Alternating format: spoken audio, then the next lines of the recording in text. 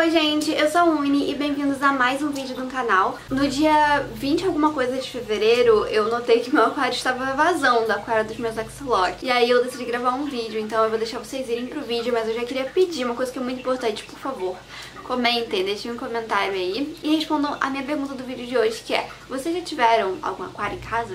Qualquer aquário com beta? Digam aí nos comentários sim ou não e se quiserem contar um pouquinho também, sintam-se livres pra isso. Então é isso, agora vamos para o vídeo. Ah, é, e gostaram do meu cabelo novo? Aqui, ó, já tem bastante tempo que eu acordei e ele ainda tá vazando, mas ele tá caindo em gotas assim, então o nível da água nem abaixou tanto. Eu até marquei aqui, ó, mais ou menos pra saber o quanto tá baixando. Nossa, gente, eu juntei os dois aquários faz pouquíssimo tempo. E esse aquário, assim, tá de uma forma que eu gosto, tá cheio de planta, tem um monte de leitilha d'água, o aquário tava tão bom, eu tava gostando tanto. Mas como o móvel tá completamente estufado, não tem como manter isso aqui. Como dá pra ver, ó, todos os lados estão bem estufados. E, enfim, eu não sei se o aquário tá trincado embaixo, porque realmente o que tá vazando é bem aqui embaixo mesmo. Ou se realmente é alguma coisa com silicone, não sei. Mas, de qualquer forma, eu terei que comprar um móvel novo. Então, eu pensei agora se eu vou comprar um móvel novo, por que, que eu já não compro um aquário novo? Por quê, né?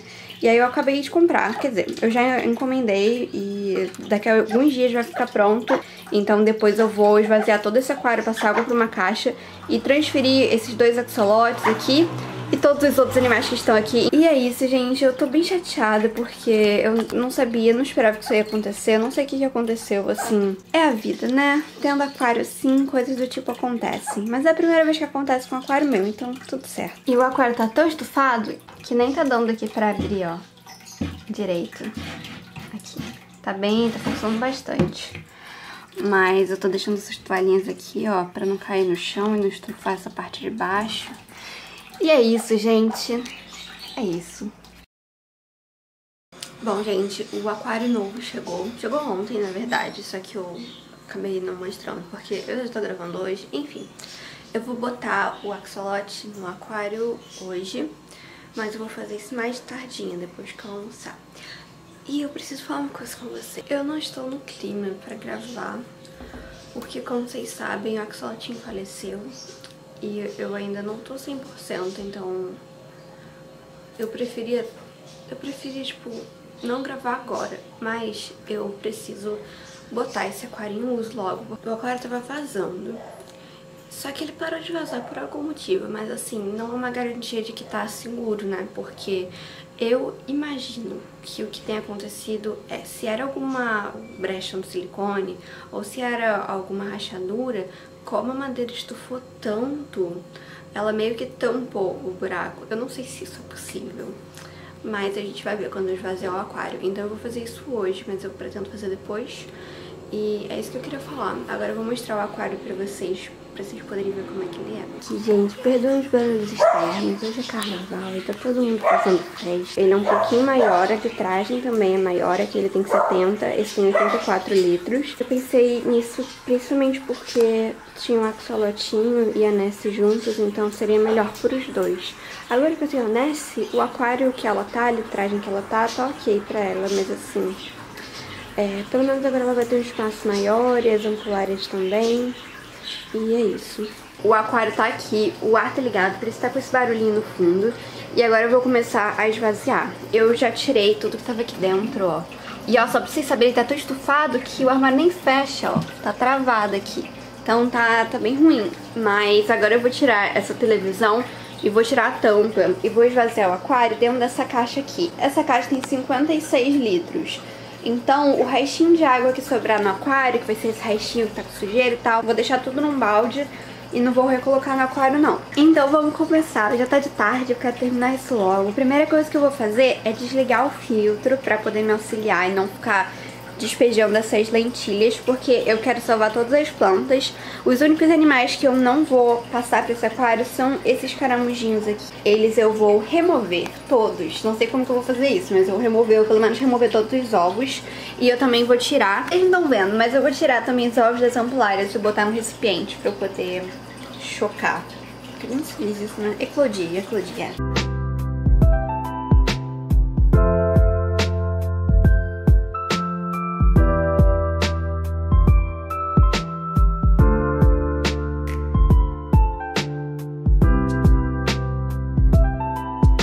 Olha que lindo ele fica sem o móvel da tampa. Eu acho aquário assim, todo aberto, tão bonito, só que aqui não tem como ter por causa da Yuli e por causa da televisão que a gente apoia, mas fica uma graça, né? Agora eu vou tirar essas plantinhas e vou começar a despejar água. Lembrando que eu não vou fazer como eu faço na TPA, que eu puxo direto a sujeira do fundo. Eu vou puxar água aqui de cima, porque eu quero puxar o máximo d'água limpa e o mínimo de sujeira possível. É tipo uma TPA inversa, basicamente.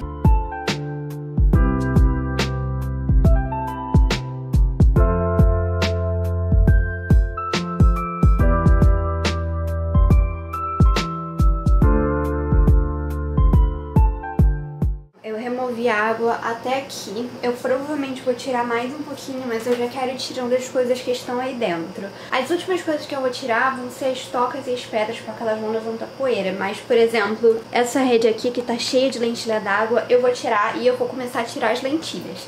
E pra isso eu vou estar tá usando uma peneira, porque porque sim. E aí vai, vai ser mais fácil de tirar e vou botar ali naquela caixa. E só dando mais, mais explicada, por último, eu vou encher um balde e vou botar nesse e depois vou botar na caixa pra ela não ter que passar muito, tipo, uma longa distância até do aquário até a caixa em contato com ar, pra ela não ficar, tipo, muito fora d'água.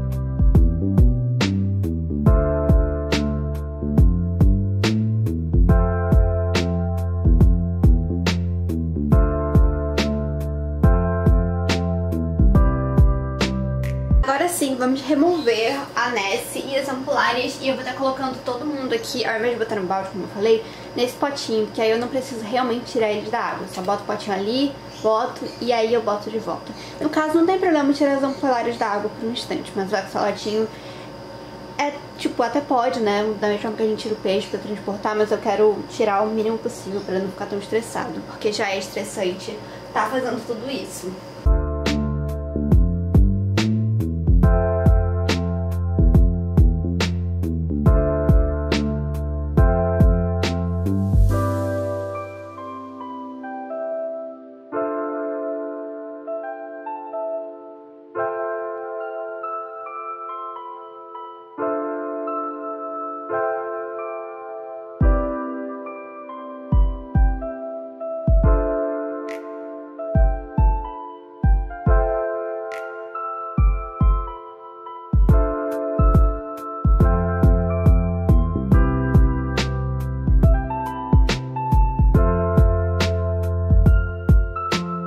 Gente, isso aqui não é super incrível. Olha o tamanho dessa pteropsis, não sei o nome dela. Incrível, né? Não sei se vocês vão conseguir ver, mas essa planta aqui tá repleta de ovos. Vocês estão vendo essas coisinhas meio translúcidas aqui, ó? Tudo isso aqui é ovo dos caramujinhos. E eu vou ter que tirar porque eles estão infestados no aquário, né? E eu não quero que tenha mais mil. Eu não sei se tirando os ovinhos assim eles conseguem sobreviver depois. Se eles sobreviverem, se acabarem nascendo, eu vou botar em outros aquários. Só não vou deixar mais no aquário do axolote. Não vou matar nenhum caramujo, tá, gente? Só vou remover eles desse aquário e vou botar em outro. Olha só essas anúbias também, que incrível.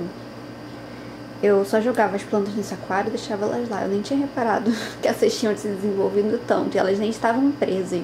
Agora a gente vai esvaziar isso aqui e vem a parte difícil, que é carregar esse aquário, que eu vou pedir precisar de ajuda, obviamente, porque eu não tenho toda a força. Vou continuar aqui enchendo o balde e esvaziar esse aquário. Preciso mostrar, mas já tiramos aqui o aquário de cima do móvel.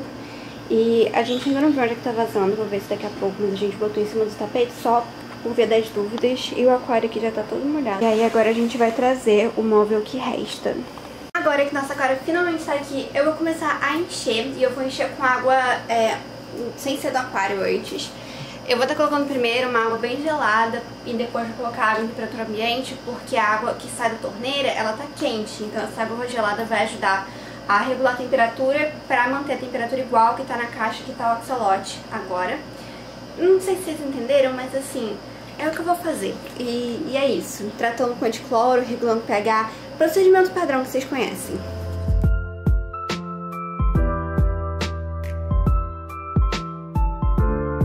Bom, o aquário em si tá assim, eu enchi só um pouquinho, agora eu vou botar água normal, depois vou medir o pH, a temperatura e vou colocar a Nessie e as angulares, mas eu enchi mais ou menos até aqui com água nova, acho que é o suficiente, mas vamos ver. Aí eu vou colocando também as decorações do aquário.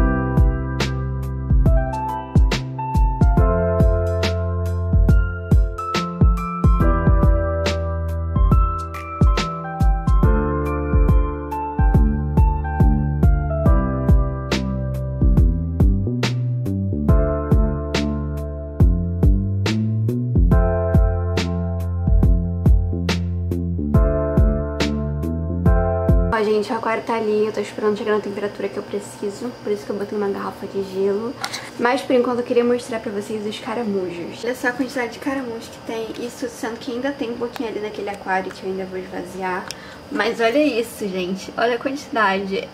É tipo muito, vocês não têm noção da quantidade de caramujos que tem aqui dentro. E eles vão pra fora, vai tudo pra dentro da água, não fica fora não. Eu peguei, gente, com todo cuidado, assim, no balde, fiquei catando todos os meus caramujinhos, sem esquecer. Bom, alguns foram esquecidos, infelizmente, mas essa aqui é a quantidade. Eu vou distribuir entre o aquário do Beta e o aquário dos Guppies. E é isso. Digam até logo pros caramujos. Foi, gente. Chegou na temperatura que eu preciso. Agora eu vou colocar esta criaturinha e os exemplares. Jesus as ampulares e vou botar eles todos num pote e vou depositar aqui. Olha só, gente, eu duvido que vocês consigam ver um caramujinho aqui. Eu fiz um trabalho tão detalhado, tão observador, que não tem um caramujinho.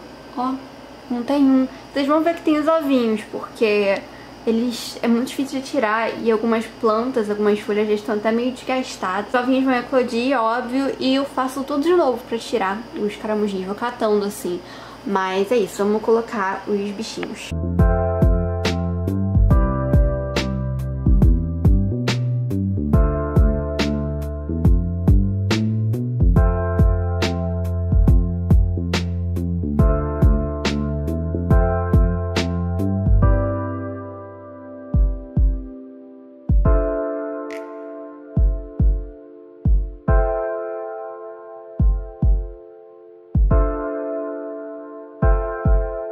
Ficou assim o aquário. Eu gosto bastante do jeito que ele tá com essas plantas soltas. E olhei, e realmente é bem mais espaçoso do que o outro.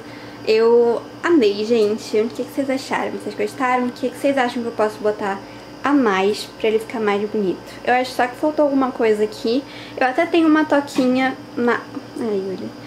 Mas eu não sei se vai ocupar muito espaço e tal, então ainda tô pensando. As ampulares também estão explorando aqui o espaço. A Nessa tá observando, sentindo as energias do local. Eu vou dar comida para ela agora para ver se ela vai comer.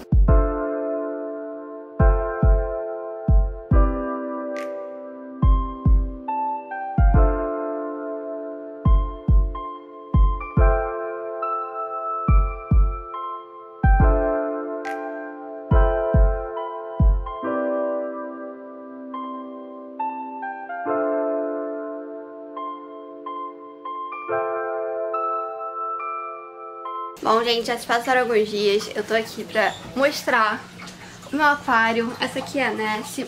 E ela tá muito satisfeita com o espaço, ela tá se mexendo bastante, ela tá usando até essa redinha que eu botei pra ela. Então foi isso, gente. O aquário tá ali atrás, ele tá maravilhoso, tá bem estável.